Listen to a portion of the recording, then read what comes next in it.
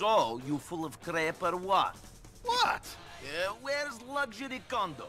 Where's sports car? Where's Barbara with big titties and Stephanie who sucks like a vacuum?